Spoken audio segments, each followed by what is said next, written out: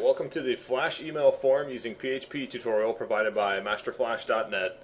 This video is only a sample of bits and pieces of what you can find in the two and a half to three hour full tutorial that is uh, located on MasterFlash.net.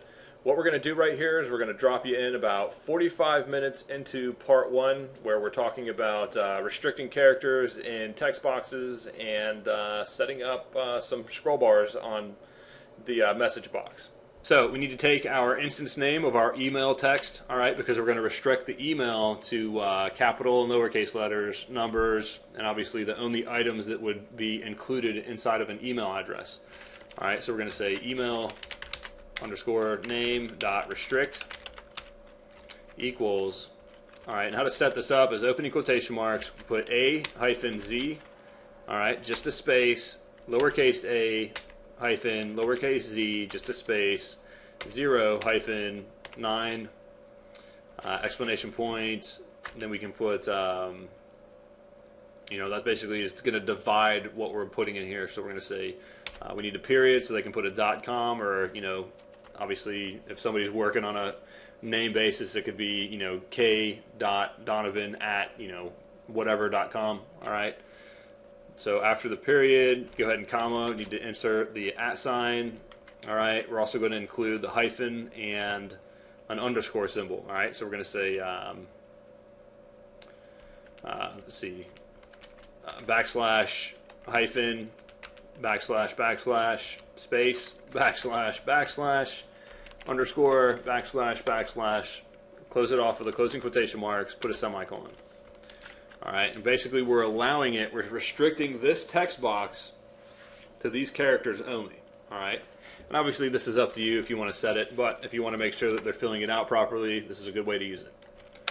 All right, and for uh, the telephone, telephone would be a good idea to set up telephone underscore name dot restrict. And if you wanted just to restrict it to uh, numbers, it's as easy as doing zero hyphen nine. All right and um, obviously, you might want to include the hyphen on this one. All right, so backslash, back, backslash, backslash, hyphen. All right, two more backslashes. All right, space. We can include uh, parentheses in case somebody wanted to do that. You can do uh, backslash, backslash, opening parentheses, backslash, backslash, space, more backsplashes, closing parentheses, and then more backsplashes, and then backslashes, semicolon. All right, and you're restricting it to uh, obviously one through nine. All right, hyphens, opening and closing parentheses. All right, and the uh, next option that would be definitely worth you knowing is the uh, max amount of characters to put inside of a text box. All right, and obviously this will be up to you. I'm gonna put this on the brief name, brief name dot max chars equals, I'm going to set this at 300, semicolon, all right. And what this is doing is basically if we publish this out, all right, if I wanted to copy this, you know, 25 times, it wouldn't actually work. All right, it's going to stop me right there. All right, so I can't paste any more text that is in there. All right, so um, I guess we can go ahead and fix the scroll bar to this since we're uh, in scrolling territory. Let's go ahead and do that. We'll go ahead and uh, hop into setting that up.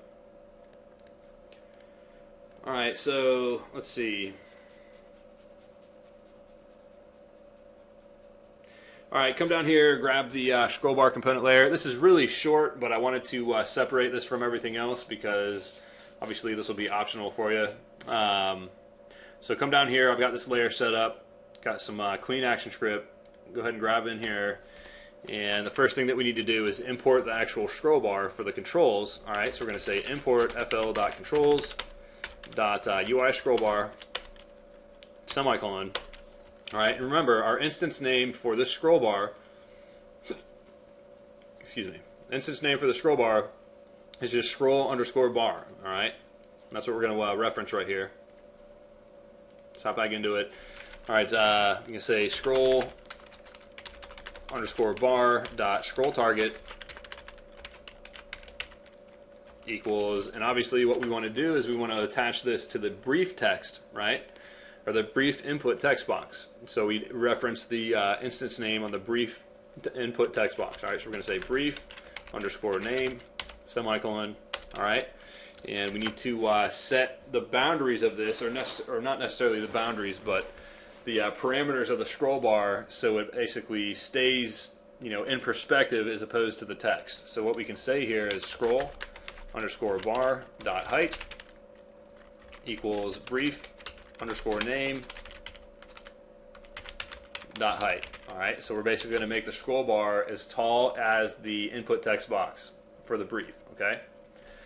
Close that with a semicolon. Next line. Then we can set up. Um, you know, we want to attach this, or we, not necessarily attach this, but we want to. The, we want the scroll bar to actually move to the text box. All right, and a way of doing it, um, you know, by perfect numbers or a perfect equation is by doing it like this: scroll underscore bar dot move, uh, opening parentheses, brief underscore name dot x plus brief underscore name dot width comma brief underscore name dot y.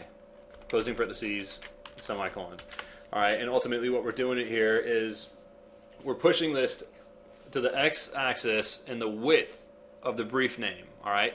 So ultimately right here what this is saying is it's attaching it to the top left of the actual um, uh, brief name input text box all right? And setting it as the y is basically going to uh, attach it you know top to bottom okay all right, so our next step, uh, which is optional here, you want this to automatically read through the text. All right, to basically tell it to uh, somewhat update to actually you know create the scroll bar. So what you can do here, scroll underscore bar dot update, opening closing parentheses semicolon.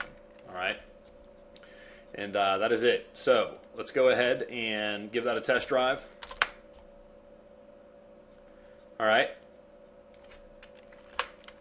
go ahead and uh, paste this. All right, looks good so far. You can scroll.